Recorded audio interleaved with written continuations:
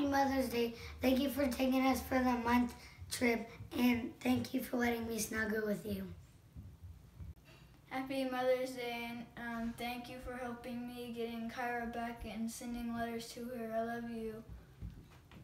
Happy Mother's Day. Thank you for being there for me, and thank you for being the hero of our life. Happy Mother's Day. I love you because when through hard times or worse, you were there for me, and then we always solve our arguments out. And even though I argue, I still love you.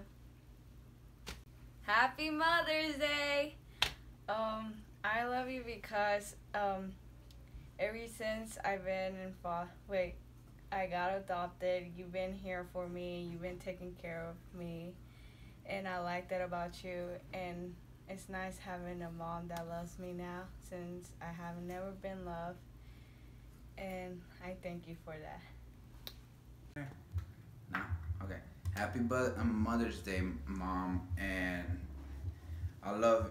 Thank you for everything you have done. Thank you for making sure we're all good, and well, and giving us what we need, and just thank you for being the best mother ever. Love you. Happy Mother's Day. Thank you so much for everything you've done for me and the other kids, and you'll always be my best friend. I love you so much. Happy Mother's Day, Mom. I love you and miss you so much. Happy Mother's Day.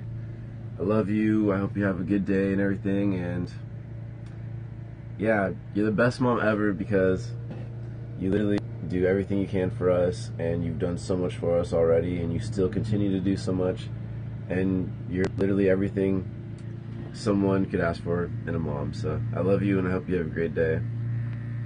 Bye